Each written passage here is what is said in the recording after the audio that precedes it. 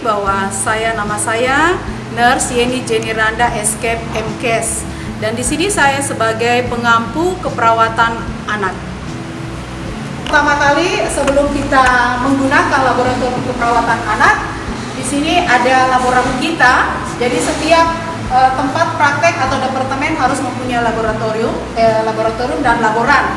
Nah, laboran inilah yang nanti menulis, mencatat pemakaian laboratorium yang akan digunakan di departemen anak ini. Begitu juga dengan siapa yang akan menggunakan uh, laboratorium ini.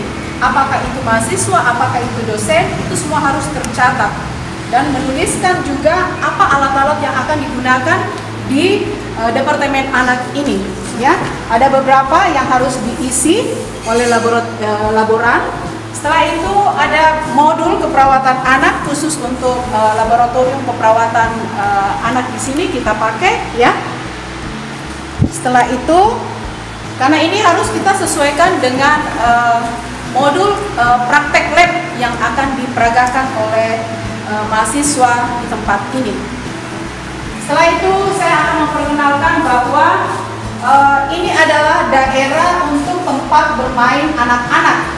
Jadi anak-anak yang sudah merasa cukup sehat, mereka akan menggunakan fasilitas-fasilitas yang ada di tempat ini untuk dapat membahagiakan dirinya. Jadi jangan hanya mereka terfokus di uh, tempat tidur saja, tetapi mereka juga menikmati masa pertumbuhannya dalam hal bermain. Ya, ini kita perlihatkan.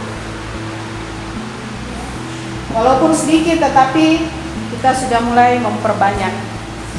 Setelah itu kita masuk dalam ruangan. Di dalam ruangan ini untuk keperawatan anak ada beberapa dan mempunyai sekat. Ini adalah perawatan bayi. Jadi ini tempat tidur bayi.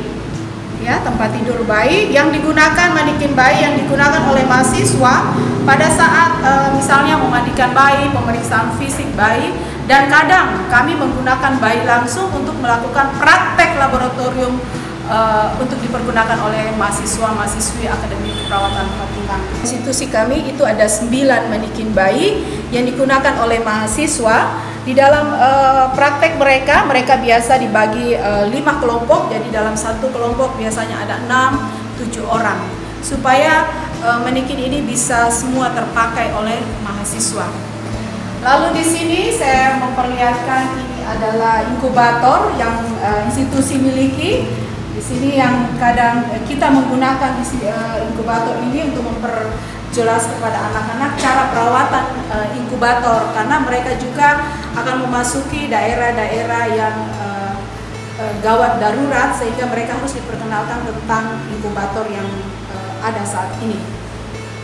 Nah, ini adalah tempat tidur yang dimiliki oleh institusi kita. Ini untuk anak ya yang agak besar dalam perawatan anak-anak besar. Jadi ada beberapa tingkatan yang dimiliki oleh institusi kita.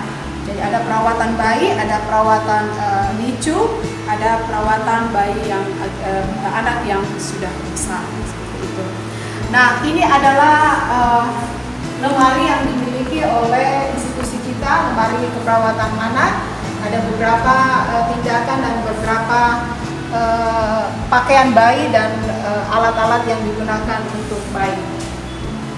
Nah, saya akan memperkenalkan uh, sedikit bahwa ada beberapa tindakan yang uh, kami lakukan di tempat ini untuk mahasiswa-mahasiswi kami. Di sini adalah memandikan bayi. Jadi kami sebelum uh, mereka turun ke lahan praktik, mereka harus diberikan dulu kesempatan untuk melakukan praktek secara individu di tempat ini. Karena kalau mereka tidak dibiasakan, jangan sampai sampai di lahan praktek mereka tidak tahu apa-apa, makanya sebelum melakukan sebelum mereka turun ke lahan praktek, mereka harus menguasai dulu. Salah satunya contoh untuk praktek klinik adalah memandikan bayi. Nah inilah alat-alat uh, yang digunakan untuk memandikan bayi, ada timbangan ya, ada baju bayi perlengkapannya untuk uh, memandikan bayi, ada sabun dan semuanya ada, dilengkapi semua supaya anak-anak bisa uh, melakukannya. Lalu ini adalah baskom untuk memandikan bayi yang menggunakan air hangat dan menggunakan waslap. Jadi ini salah satu teknik yang kami uh, peragakan. Ini adalah uh, panjang badan, mengukur panjang badan bayi. Lalu kami juga menyiapkan untuk mencuci tangan, ya, mencuci tangan dengan enam langkah yang kita gunakan. Jadi sebelum melakukan dan sesudah melakukan praktek ini harus melakukan mencuci tangan. Itu adalah tempat sampah non medis dan tempat sampah uh, medis. Jadi ada beberapa tempat juga. Jadi kita harus membedakan tempat sampah atau meletakkan sampah ya sebagai seorang perawat. Nah ini uh, setiap sesuatu kita bisa langsung menggunakannya